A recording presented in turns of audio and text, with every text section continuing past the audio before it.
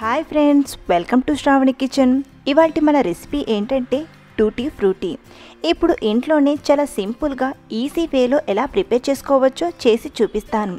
ఈ టూటీ ఫ్రూటీలు మూడు నుండి నాలుగు నెలల వరకు ఫ్రెష్గా ఉంటాయి. ముందుగా టూటీ ఫ్రూటీ చేయడానికి సగం వరకు నీళ్ళను తీసుకొని వేడి చేసుకుందాం. ఈ వాటర్ వేడయ్యేలోపు మనం పచ్చి బొప్పాయికాయను తీసుకొని చిన్న చిన్నగా కట్ చేసుకుందాం.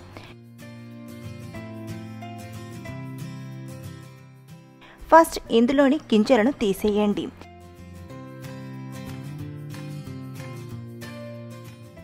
ఈ వైట్ పార్ట్ని కూడా తీసేసుకుందాం. ఆ తర్వాత పైపొట్టును పీలాఫ్ చేసి చిన్న చిన్నగా క్యూబ్స్లా కట్ చేయండి.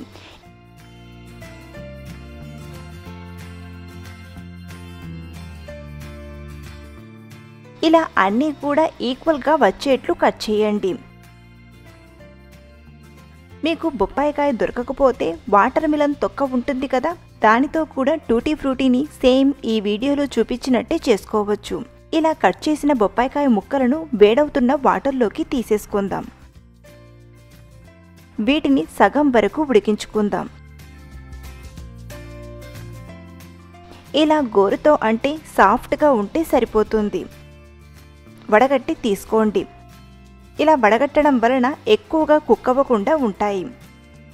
వీటిని పక్కన పెట్టి ఒక గిన్నెలోకి ఒక కప్పు వరకు షుగర్ని తీసుకోండి.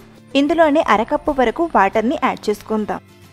ఇలా చక్కెర కరిగిపోయిన తర్వాత మరో ఒకటి రెండు నిమిషాలు మరిగించాలి.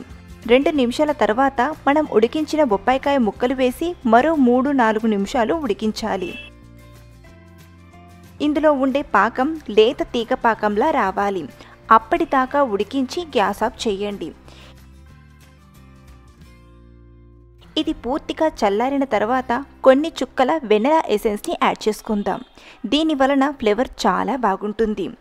ఇప్పుడు మీరు ఎన్ని కలర్స్తో టూటీ ఫ్రూటీ చేసుకోవాలనుకుంటే అన్ని బాల్స్ని తీసుకోండి. అంటే ఒక కలర్తో లేదా రెండు మూడు కలర్స్తోనైనా చేసుకోవచ్చు. ఇక్కడ నేను త్రీ కలర్స్తో టూటీ ఫ్రూటీని ప్రిపేర్ చేస్తున్నాను. గ్రీన్ రెడ్ ఎల్లో ఇలా మూడు కలర్లని ఒక గిన్నెలోకి తీసుకుందాం.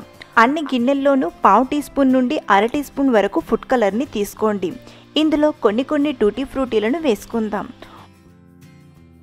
ఓసారి అన్నిటిని బాగా మిక్స్ చేయండి. ఇప్పుడు వీటిని నైట్ మొత్తం అంటే ఒక ఎనిమిది నుండి పది గంటలు ఇలాగే వదిలేయండి. ఇలాగే మూత పెట్టి ఉంచండి.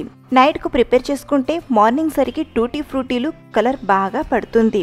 ఎనిమిది గంటల తర్వాత ఇందులోని టూటీ ఫ్రూటీలను తీసి ఆరబెట్టండి. తడి మొత్తం ఆరిపోయేంత వరకు బాగా ఆరబెట్టాలి. లేదా ఎండలో కూడా పెట్టచ్చు. చూడండి టూటీ ఫ్రూటీలు ఇలా ఆరిపోతే సరిపోతుంది.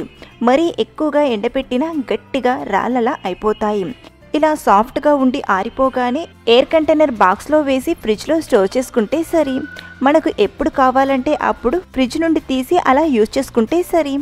సో ఫ్రెండ్స్ ఇంట్లోనే టూటీ ఫ్రూటీలను ఏ విధంగా ప్రిపేర్ చేసుకోవాలో చూసాం కదా? ఈ వీడియో మీకు నచ్చితే ఒక లైక్ చేయండి. అలాగే మీ ఫ్రెండ్స్తో షేర్ చేసుకోండి.